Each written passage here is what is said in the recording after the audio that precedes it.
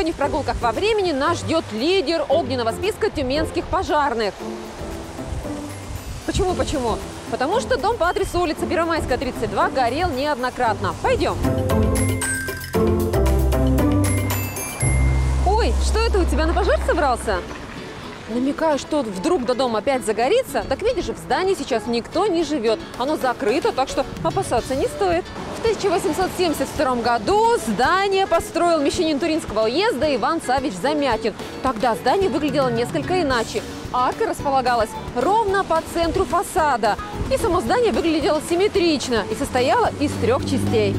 Дом построили по проекту Зерислава Егоровича Полонского. Архитектор-то не хухры-мухры, был выпускником столичной школы Санкт-Петербургского строительного училища.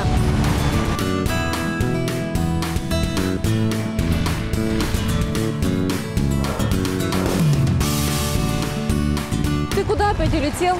Небось, мысленно уже по питерским улочкам прогуливаешься. Вот выдумщик. Впрочем, соглашусь с тобой, в этом здании еще чувствуется дух его создателя.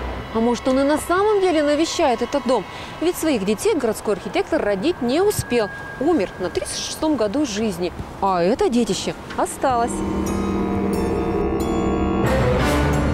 Интересно, понравилось бы Полонскому, что в начале 20 века особняк перестроили и сделали из него многоквартирный дом.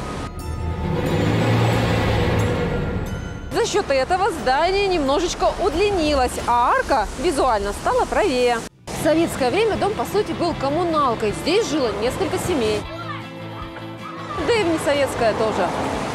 Долгое время это здание считалось домом под снос. И старожилы мне рассказывали, как один их сосед, назовем его дядя Вася, почти сто лет назад в свои 16 лет пошел получать паспорт. И его попросили не прописываться поскольку он наверняка скоро переедет в новое жилье. И знаешь что? Дядя Вася в этом доме родился, женился, умер, а дом все стоит.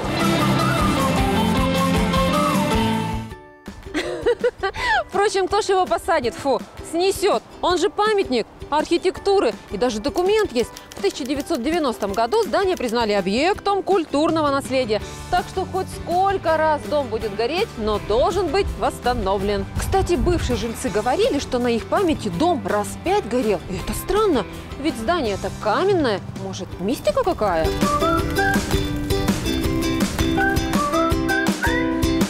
Еще говорят, что в этом здании точно были призраки и привидения, а еще домовой.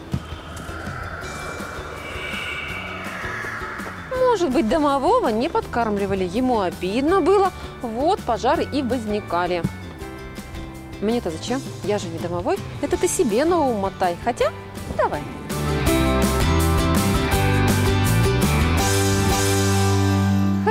И была коммуналка, жильцы свой дом любили и даже считали оазисом в центре города.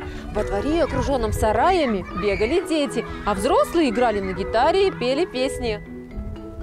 Ну, говоришь я тебе, давно это было, и сейчас уже ничего не напоминает о тех временах. Ты куда? А вдруг опасно? Впрочем, табличек с предостережением «Вход воспрещен» нет. Ладно, давай заглянем, только ты вперед. Ужас! Тут все рыто-перерыто, словно военные действия были. Хотя, чему удивляться, здесь еще жильцы здания искали клад первого владельца. Думали, раз господин состоятельный, наверняка что-нибудь спрятал в кладке. Ну ты-то что делаешь? Уже и до тебя были желающие, но так ничего и не нашли.